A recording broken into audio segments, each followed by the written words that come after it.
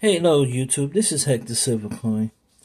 So today's video is about John F. Kennedy, 1964, half dollar. I have one, it's the proof, type 1 straight G, PF67. It is a gorgeous coin, even though it is certified by ANACS. It's pretty nice. And another one I have Proof Accented Hair. I have a little bit milk spot here. Let me see. Little spot right here. As you can see. But it's a nice coin. Anyways. This is the coin that I want to talk about. This is um 1964 lamination. It's an era coin.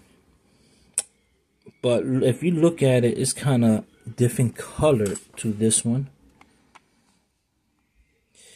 So this lamination is basically an error coin.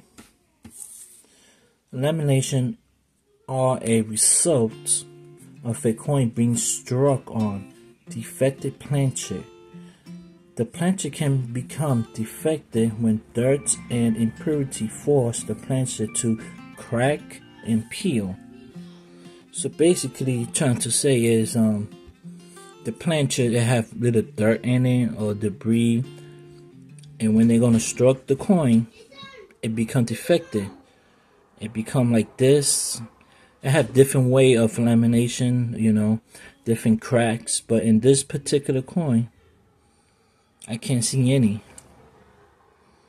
What do you guys think? Well, my concern about this coin, I try to find this find this particular coin online and I cannot find any.